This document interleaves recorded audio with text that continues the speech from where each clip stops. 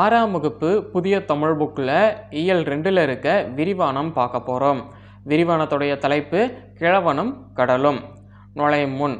மனுஷன் இயற்கையோட போராடிக்கிட்டே இருக்கான். சில நேரங்களில் இயற்கையோட போராடி வெற்றி அடைகிறான் சில நேரங்களில் தோல்வி அடைகிறான் ஆனால் முயற்சிகள் என்றைக்குமே உயர்றது கிடையாது. அதாவது மனுஷன் இயற்கையோட போராடி வெற்றி அடைஞ்சாலும் சரி தோல்வி அடைஞ்சாலும் சரி அவனுடைய முயற்சிகள் என்றைக்குமே உயர்றது கிடையாது. அவன் முயற்சி பண்ணிக்கிட்டே இருக்கான். மனுஷன் இயற்கையோட நடத்துகிற போராட்டம் தான் அவனுடைய வாழ்க்கையை அமைக்குது.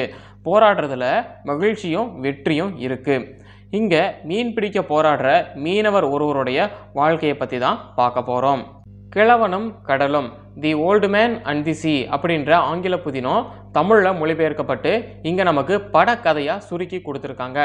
The old man and the sea அப்படின்ற இந்த புதினம் பார்த்தீங்கன்னா ஆயிரத்தி தொள்ளாயிரத்தி ஐம்பத்தி நாலாம் ஆண்டு நோபல் பரிசு பெற்றது. இந்த நூலுடைய ஆசிரியர் எர்னெஸ்ட் ஹேமிங்வே அப்படிங்கிறவர். The old man and the sea அப்படின்ற புதினத்தோடைய ஆசிரியர் யார் அப்படின்னு கேட்டாங்கன்னா எர்னெஸ்ட் ஹேமிங்வே அப்படிங்கிறவர். ஆயிரத்தி தொள்ளாயிரத்தி எண்பத்தி நாலாம் ஆண்டு the old man and the sea அப்படின்ற இந்த புதினம் நோபல் பரிசு பெற்றிருக்கு. இதை குறித்து வச்சுக்கோங்க. சரி இப்போ நம்ம கதைக்கு போகலாம் இயற்கைக்கும் மனுஷனுக்கும் இடையில் நடக்கிற போராட்டம் தான் இந்த கதை. இந்த கதையோடைய நாயகன் ஹீரோ யாருன்னா சாண்டியாகோ அப்படிங்கிறவர். வயது முதிர்ந்த மீனவர் சாண்டியாகோ. முன்னையெல்லாம் சாண்டியாகோ கடலுக்கு போனார்னா மீன் இல்லாமல் திரும்பவே மாட்டார்.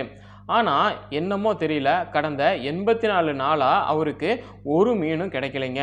மனோலின் அப்படின்ற சிறுவன் மீன் பிடிக்க கற்றுக்கிறதுக்காக முதல் நாற்பது நாளும் அதாவது மொத்தம் எண்பத்தி நாலு நாள் அவருக்கு அவருக்கு மீனே கிடைக்கல சாண்டியாகோவுக்கு மொனோலின் அப்படின்ற சிறுவன் மீன் பிடிக்க கற்றுக்கிறதுக்காக அந்த சாண்டியாகோ கூட முதல் நாற்பது நாளும் அவரு கூட கடலுக்கு வந்தான் மீன் பிடிக்க கற்றுக்கிறதுக்காக அவன் அவருக்கு வேண்டிய உதவிகளை செஞ்சதோட பேச்சு துணையாகவும் இருந்தான். மனோலின் அப்படின்ற சிறுவன் சாண்டியாகோவுக்கு அவரோட கடலுக்கு போனால் ஒரு மீனும் கிடைக்கிறது இல்லை அப்படின்னு சொல்லிட்டு மனோலினுடைய பெற்றோர்கள் அவனை சாண்டியோகோ கூட அனுப்பாமல் வேற ஒரு படகுக்கு அனுப்பிட்டாங்க மனோலினுடைய பெற்றோர்கள். இப்பெல்லாம் தனியாக தான் சாண்டியோகோ மீன் பிடிக்க போனார். அன்னைக்கு எண்பத்தி ஐந்தாவது நாள். அதாவது கடந்த எண்பத்தி நான்கு நாளாக சாண்டியோகோவுக்கு ஒரு மீன் கூட கிடைக்கல. அன்னைக்கு எண்பத்தி ஐந்தாவது நாள். வாங்க எண்பத்தி ஐந்தாவது நாள் என்ன நடக்குதுன்னு பார்க்கலாம். இதுக்கப்புறமா படக்கதை வடிவில் கொடுத்துருப்பாங்க. பாருங்க உங்களுக்கு பார்க்குறதுக்கு ரொம்பவும் ஆர்வமாகவே இருக்கும். கடலுக்கு மீன் பிடிக்க சொல்கிறாரு சாண்டியோகோ. சாண்டியோகோ மனசுக்குள்ளே நினச்சிக்கிறாரு எனக்கு மீன்கள் கிடைக்கவே கிடைக்காது அப்படின்னு எல்லாருமே சொல்கிறாங்க அதை மாற்றி காட்டணும் அப்படின்னு நினைக்கிறாரு சாண்டியோகோ.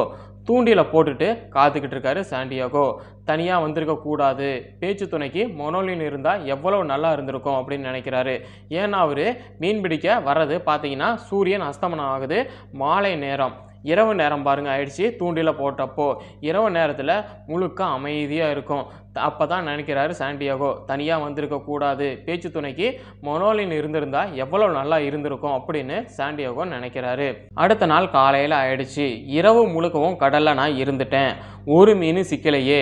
ஆனது ஆகட்டும். இனி நான் மீன் இல்லாமல் கரைக்கு திரும்ப போகிறதே இல்லை அப்படின்னு சாண்டியாகோ சொல்கிறாரு இப்படியே வந்து தூண்டில் தண்ணியில் போட்டு அப்படியே நின்றுட்டுருக்காரு நண்பர்கள் ஆயிடுச்சு. மதிய நேரம் ஆயிடுச்சு. அப்போது தூண்டில் கயிறு அப்படியே அசையுது. உடனே சாண்டியாகோ பார்க்குறாரு. அடடே தூண்டில் கயிறை ஏதோ இழுக்கிற மாதிரி இருக்குதே ஏதோ மீன் தான் வந்திருக்கும் அப்படின்னு நினைக்கிறேன்னு பார்க்குறாரு சாண்டியோகோ. உடனே சொல்கிறாரு வா வா மீனே தூண்டில் முள்ள உனக்காக சூற மீனை மாட்டி வச்சிருக்கேன். சாப்பிடு சாப்பிடு. அப்போ தானே நீ என்கிட்ட மாட்டுவ. வா வா அப்படித்தான் வா அப்படின்னு சாண்டியோகோ சொல்கிறாரு தூண்டிலில் மீன் சிக்கிச்சு தூண்டில் வேகமாக இழுக்குதே அப்படின்னு பார்க்குறாரு உடனே சாண்டியோகோ வந்து பார்த்தீங்கன்னா தூண்டில் பிடிச்சிக்கிட்டு தூண்டில் வந்து வேகமாக இழுக்குதே. நிச்சயமாக இது பெரிய மீனாக தான் இருக்கணும் அப்படின்னு நினைக்கிறாரு சாண்டியோகோ அப்புறம் மீனை படகுக்குள்ளே இழுக்க முயற்சி செய்கிறாரு சாண்டியோகோ ஆனால் முடியல. மீனே ஏன் இப்படி தூண்டில் இழுக்கிற? என்னைய கடலுக்குள்ளே இழுத்து தள்ளிட பார்க்குறியா? அப்படின்னு சொல்கிறாரு சாண்டியோகோ. மீன் நீருக்கு மேலே வர்றதும் மூழ்கிறதுமா இருந்தது. அதாவது மீன் தலையை வந்து மேலே காட்டுறதும் உள்ளே மூழ்கிறதுமாவே இருக்குது. மேலேயும் வராமல் ஆழத்துக்கும் போகாமல் படகு எங்கோ இழுத்து கொண்டே போகுதே. இருக்கட்டும் இருக்கட்டும். எப்படியும் மேலே வந்து தானே ஆகணும் அப்படின்னு சாண்டியாகோ சொல்கிறாரு மாலை நேரம் ஆயிடுச்சு. அதாவது மதிய நேரம் தூண்டில் லைட்டாக அசைஞ்சுது. அப்பையிலேருந்து மீனை வந்து மேலே இழுக்கிறதுக்காக சாண்டியோகோ போராடிக்கிட்டே இருக்காரு. அப்படியே போராடிக்கிட்டே சாயங்காலம் நேரம் ஆயிடுச்சு. பசியும் சோர்வும் அவரை வாட்டி வதக்குது. சாண்டியோகோவை வாட்டி வதக்குது. நண்பகல் தூண்டில் சிக்கின மீன் அதாவது மதியான நேரத்தில் தூண்டில் சிக்கின மீன் நாலு மணி நேரமாக சாண்டியோகிட்ட ஆட்டம் காட்டிக்கிட்டு இருக்குது. அப்புறம் மீன் கொஞ்சம் கூட அசையாமல் அப்படியே இருக்குது மீனோட போராடிய களைப்பில் சாண்டியோகோ கொஞ்ச நேரம் அப்படியே கண் அயர்ந்து தூங்கிட்டாரு. மறுபடியும் தூண்டில மீன் இழுக்குது. சாண்டியோகோடைய உறக்கம் கலையுது அதாவது தூக்கம் கலையுது ஓ இரவு முழுக்க தூங்காமல் இருந்ததுனால என்னையே அறியாமல் தூங்கிட்டேனா? இனியும் சும்மா இருக்க முடியாது அப்படின்னு சாண்டியோகோ மறுபடியும் மீனை இழுக்க ஆரம்பிக்கிறாரு. ம் அப்படித்தான். ஆகட்டும் மேலே வா. இன்னைக்கு என்னிடம் இருந்து உன்னால் தப்பவே முடியாது அப்படின்னு சாண்டியோகோ சொல்கிறாரு சாண்டியாகோ தூண்டில் இழுக்கிறாரு. மீன் முதல் முதலாக நீருக்கு மேலே துள்ளி குதிக்குது. இங்கே பாருங்கள் எவ்வளோ பெரிய மீன்.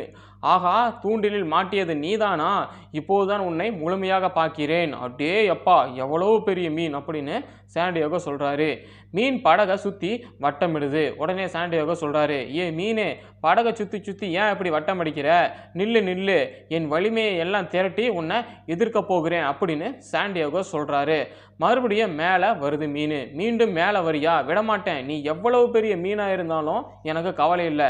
என் உயிர் உள்ள வரைக்கும் உன்னோட போராடி நான் வெற்றி பெறுவேன் அப்படின்னு சாண்டியாகோ சொல்கிறாரு நான் சாப்பிடவும் இல்லை தூங்கவும் இல்லை இத்தனை மணி நேரமாக உன்னோட நான் போராடிட்டு இருக்கேனே ஏன் இப்படி நீ துள்ளுற அப்படின்னு சாண்டியாவுக்கு கேட்குறாரு உன் உயிரை காப்பாற்றிக்க நீ போராடுற நான் என் இலக்கை அடையறதுக்காக போராடுறேன். இந்த போராட்டத்தோடைய முடிவில் ஒன்று நான் உயிரோடு இருப்பேன் இல்லைன்னா நீ இருப்ப அப்படின்னு சொல்கிறாரு சாண்டியோகோ. அப்புறம் மீன் படகுக்கு பக்கத்தில் வந்து மேலே எலும்பி குதிக்குது. அந்த நேரமாக பார்த்து சாண்டியோகோ ஈட்டி எடுத்து மீனை குத்துறாரு.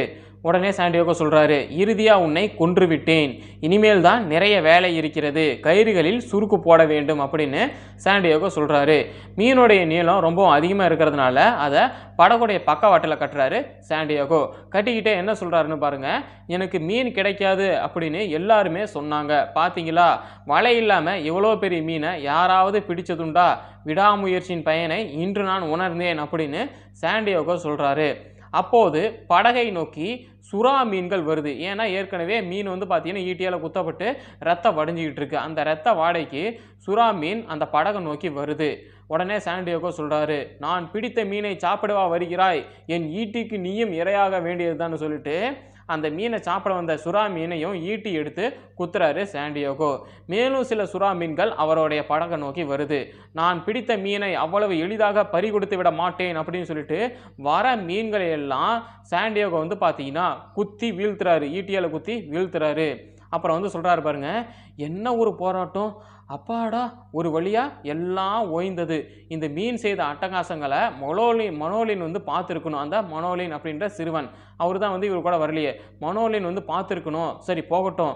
உடனே நம்ம கரைக்கு போய் நடந்த எல்லாத்தையும் மனோலின் கிட்ட சொல்லணும். அப்படின்ட்டு சாண்டியோகோ கரையை நோக்கி போகிறாரு இப்போது கரைக்கு வந்துட்டார் சாண்டியோகோ. ஒரு வழியாக கரைக்கு வந்துட்டேன். ரொம்பவும் களைப்பாக இருக்குது. சரி படகை இழுத்து கட்டுறேன்னு சொல்லிட்டு கட்டுறாரு. உடனே வந்து படகை இழுத்து கட்டிட்டு தான் போய் படகுகிட்ட போய் பார்க்குறாரு ஒரு ஆச்சரியம் சாண்டியாகோக்கு. படகோடு இருந்த மீனை பார்க்குறாரு. என்ன ஆச்சரியம்? ஆ என்ன இது? சுறாக்கள் தின்றது போக கடைசியில் மீனின் தலையும் அதன் எலும்பும் தான் மிஞ்சி உள்ளனவா? அப்படின்னு சாண்டியோகை பார்த்து அதிர்ச்சி அடைகிறாரு. சுறா மீன் வந்தது இல்லைங்களா? இவர் வந்து பார்த்தீங்கன்னா ஒவ்வொரு மீனாக குத்திக்கிட்டு இருந்திருக்காரு. அப்போ பார்த்தீங்கன்னா சுறா மீன் இந்த மீனுடைய உடம்பு முழுக்க சாப்பிட்டு தலையும் எலும்பையும் வந்து மிச்சம் வச்சுட்டு போயிடுச்சு. அப்புறம் சாண்டியோகா இப்போது வீட்டுக்கு வந்துடுறாரு. வீட்டுக்கு வந்து களைப்பாக உட்காந்துட்டு இருக்காரு. சாண்டியோகாவை பார்க்க மொனோலின் வரான். தாத்தா உன்னை பார்க்கத்தான் ஓடி வந்தேன் அப்படின்னு மொனோலின் சொல்கிறான் அடே அப்பா எவ்வளோ பெரிய மீன் இது? மீன் பிடிப்பதில் பெரிய வீரன் தான் தாத்தா நீ அப்படின்னு சொல்கிறான் வந்த உடனே வெளியே படகுல கட்டியிருக்க மீனை பார்த்துட்டு.